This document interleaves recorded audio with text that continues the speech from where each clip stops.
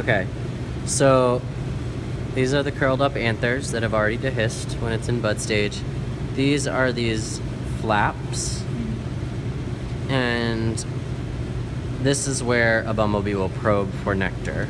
Right at that edge. So down in there is nectar. And I can see little beads. Can you guys see little Yeah. beads?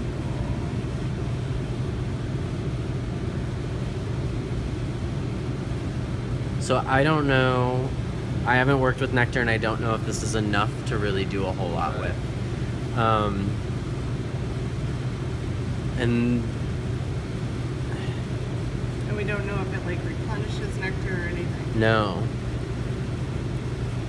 It tastes good. Tastes like sugar water. Yep.